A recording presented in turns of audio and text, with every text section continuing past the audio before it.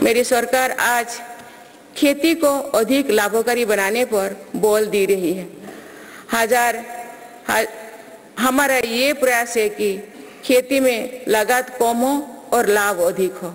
मेरी सरकार ने पहली बार 10 करोड़ से अधिक छोटे किसानों को भी देश की कृषि नीति और योजना में प्रमुखता दी है। पीएम किसान सम्मान निधि के तहत अब तक तो दो लाख अस्सी हज़ार करोड़ रुपया किसानों को मिल चुके हैं।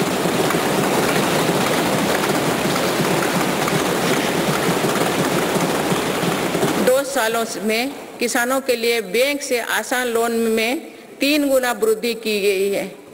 प्रधानमंत्री फ़सल बीमा योजना के तहत किसानों ने तीस हज़ार करोड़ रुपया प्रीमियम भरा। इसके बदले उन्हें डेढ़ लाख करोड़ रुपए का क्लेम मिला है। पिछले दस वर्षों में लगभग 18 लाख करोड़ रुपया एमएसपी के रूप में धान और गेहूँ की खेती करने वाले किसानों को मिले हैं।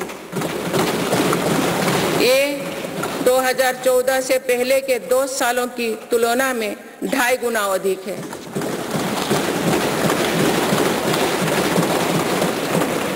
पहले तिलहन और दलहन फ़सलों की सरकारी खरीदी नहीं की, की बराबर थी। पिछले दशकों में तिलहन और दलहन की खेती करने वाले किसानों को एमएसपी के रूप में सवा लाख करोड़ रुपया मिले हैं।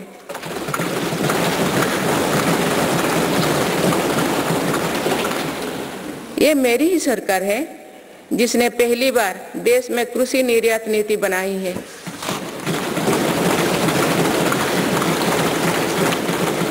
इससे एग्रीकल्चर एक्सपोर्ट चार लाख करोड़ रुपया तक तो पहुँचा है। किसानों को सस्ती खाद मिले, इसके लिए 10 सालों में 11 लाख करोड़ रुपया से अधिक खर्च किए गए हैं।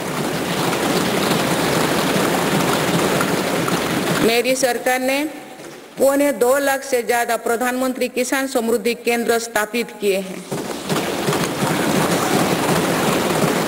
अभी तक लगभग 8000 किसान उत्पादक संघ एफपीओ बनाए जा चुके हैं। मेरी सरकार कृषि में सहकारिता को बढ़ावा दे रहे हैं। इसके लिए देश में पहली बार सहकारिता मंत्रालय बनाया गया है। सरकारी क्षेत्र में दुनिया की सबसे बड़ी अनाज भंडारण योजना शुरू की गई है। जिन गाँव में सहकारी समितियाँ नहीं है, वहाँ दो लाख समितियाँ बनाई जा रही है। मत्स्य पालन क्षेत्र में अड़तीस हज़ार करोड़ रुपया से अधिक की योजनाएँ चलाई जा रही है, जिसके कारण मत्स्य उत्पादन पिछले दो साल में 95 लाख मेट्रिक टन से बढ़कर 175 लाख मेट्रिक टन, यानी लगभग दो गुना हो गया है।